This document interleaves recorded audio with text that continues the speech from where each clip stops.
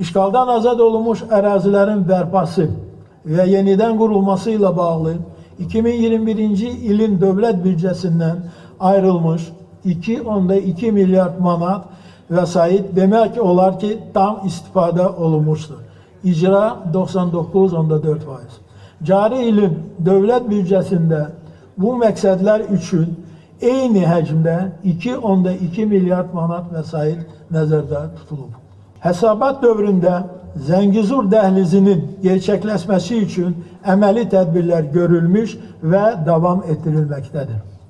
Yeri gəlmişkən Martın 11-də İran İslam Respublikasının ərazisindən keçməklə Azərbaycan Respublikasının Şərqi Zəngizur İqtisadi Rayonu ilə Naxçıvan Muxtar Respublikası arasında yeni kommunikasiya bağlantılarının yaradılması haqqında anlaşma memorandumunun imzalanmasının əhəmiyyətini vurğulamaq istərdim. Yeni kommunikasiya bağlantıları ümumiyyətlə, ümumiyyətlə bölgənin inkişafına böyük töhfələr verəcək.